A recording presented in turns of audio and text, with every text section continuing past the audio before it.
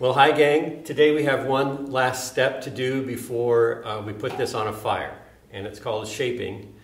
And what we're going to try to do, now that I have access to the underside of the instrument, um, is that I'm going to try to get these notes to have something close to their final shape before we throw this on a fire.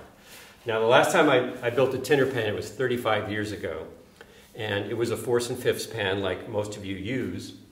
And it was, you know, I did a rush job on it.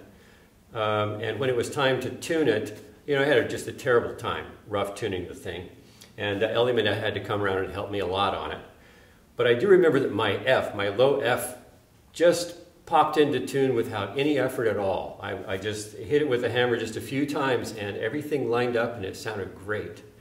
And Ellie pointed to that note and he, he said, yeah, that's because it's shaped right. Look at, look at the shape. Look at the shape you gave it. So um, I'm going to, as much as possible, I'm going to try to shape these notes um, to what I'm familiar with from an invader pan. That is one thing that I've got going for me here. And that is that I've spent 40 years behind an invader pan and noticing all of the shapes and the curves and where the crowns are. And um, so something tells me I'm going to be reasonably good at shaping these notes and getting them to to at least look something like their final shape. The tools I'm going to use are my 24 pound, my, my favorite um, hammer that's been ground down. And then this is the handle off of one of my other hammers. And you see that it's been cut on the bias here on an angle. And this allows us to get inside and work the, the spaces um, underneath where the hammer won't fit. Sometimes you can get in there with a hammer and just do bores like this. But uh, having one of these gives you a second method of leverage to, to manipulate that stuff and pop them up a little bit from the bottom. So uh, I'm going to go to work to try to get this thing whipped into some sort of shape. And um, wish me luck.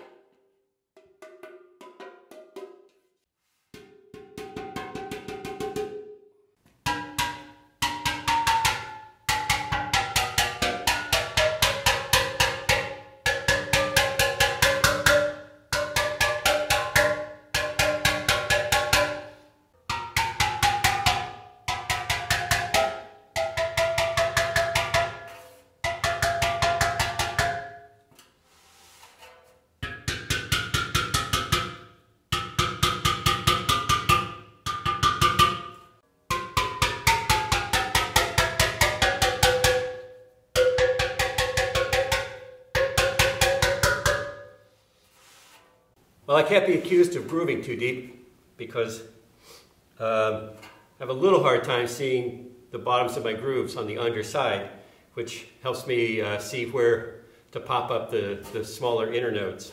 But uh, it's to go slow.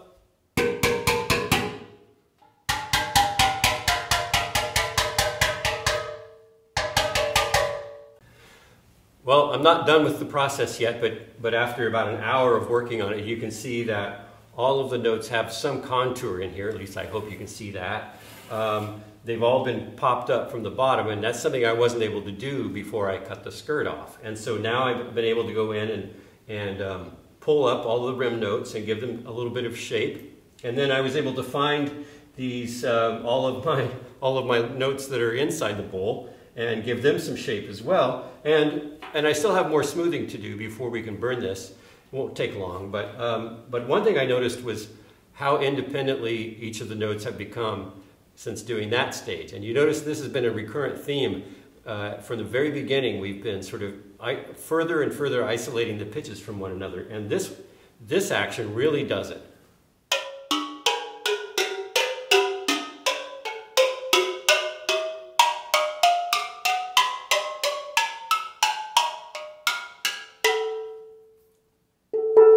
My F sharp. It snapped into place almost, almost instantly as an F sharp. So um, anyway, I've got a, just a little more smoothing to do and we're ready to, to uh, burn this thing.